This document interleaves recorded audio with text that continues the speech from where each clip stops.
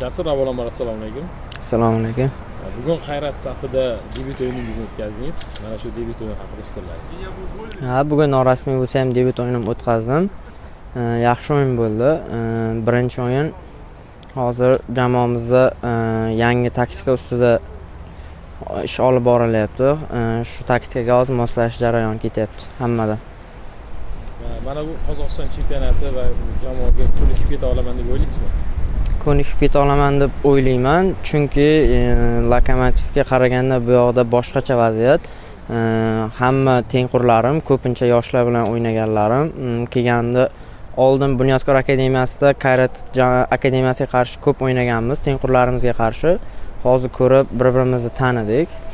O'ylaymanki e, boshqacha bo'ladi. Qayrat jamoasiga moslashishim ham e, o'yinlar ham boshqacha bo'ladi deb o'ylayman. Bu yerdagi muhit e, sharoitlar futbolchilarga yaratib berilgan sharoitlar va muhit haqida? E, sharoitlarni o'zi bilardim. Kayrat jamoasida e, akademiyasi dunyo bo'yicha top kuchli akademiyalardan qatorida turadi. O'shaning uchun tanish edim sharoitlari bilan. Kelgandan keyin amin bo'ldimki yani to'g'ri joyga kelganman.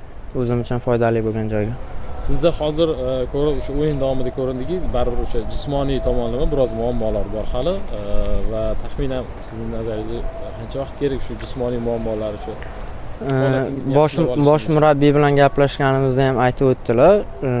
Birinchi o'rinda jismoniy tayyorgarlikka e'tibor qaratamiz. Hozirgi asosiy maqsadimiz birinchi marta bo'ladigan super kubok o'yiniga maksimal darajada tayyor bo'lish va qurbon berdiyevni o'zlari bilan shaxsan gaplashdingizmi? Sizdan nimani xohlayotganliklari qaysi jihatlari ustida ishlash kerakligi haqida e, fikrlar berdilarmi ha albatta man kelishimdan oldin so'radim. E, manda shunaqa bir marta holat bo'lgan. O'ynamay qolib e, zaxirada o'tirib qolib jismoniy tarafdan ham har taraflama yanada yomonlashib ketganimni va shu narsa mani bezovta qilayotganini aytdim.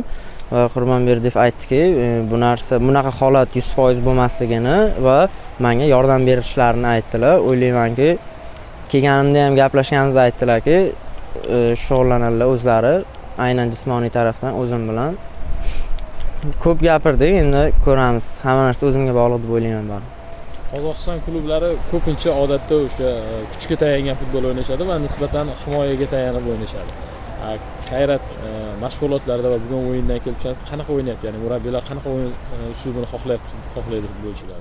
Kayratda hech qachon man o'ylaymanki qozoq futboli unaqa bo'lgani bilan ham kayratda hech qachon unaqa bo'lmagan. Kayrat har doim pas hujumkor futbol e, o'ynashni yaxshi ko'radi va talab ham shunaqa. Hozir ham e, sitini o'yinini ko'rsatyaptilar. Aytishlari bo'yicha bir hafta o'sha sitini bazasida bo'lib mashg'ulotlarni kuzatib kelganlar.